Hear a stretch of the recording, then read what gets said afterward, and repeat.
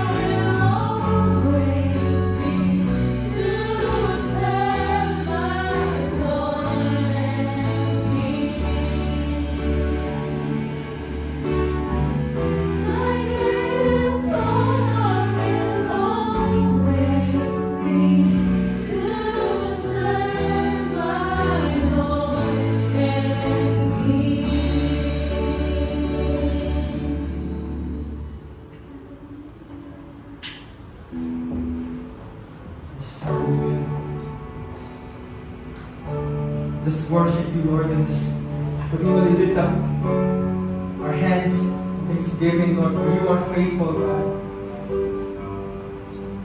You are worthy, Lord, of all our praises, Lord. We thank you for your great love, Lord. You have shown us through your sacrifice, Lord, you, have, you redeem our souls, Lord God. And it's the greatest blessing that we have right now, to have you in our life. We are so thankful every day, God, for you are faithful, you are good.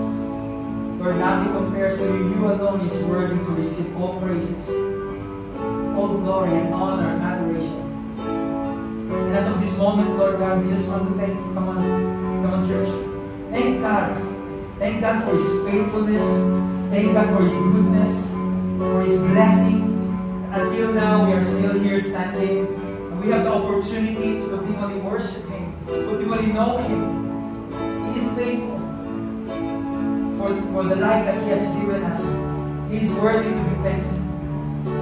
He is worthy to receive all thanksgiving for His goodness, for all that He has done in our lives. Yes, Lord. But nothing that we can give to you, Lord, because everything is yours, Lord, even our life, Lord. But today, Lord, we just want to surrender and give you our life. And that, Lord, we pray that your will and your purpose be that, Lord. And if there are things, Lord, that we have done, Lord, na hindi ka na-please, Panginoon, may mga bagay kami nagawa na hindi kalugod-lugod sa inyo, Panginoon, Lord, we ask for your forgiveness. Forgive us, Lord God, sa mga bagay na ginawa namin sa kapwa namin, na masama, sa mga iniisip namin, sa mga puso namin, sa pananalita namin. Lord, we, for, we ask for your forgiveness. Right now, we just want to thank you, God, for your faithfulness and goodness, for your forgiveness of sin.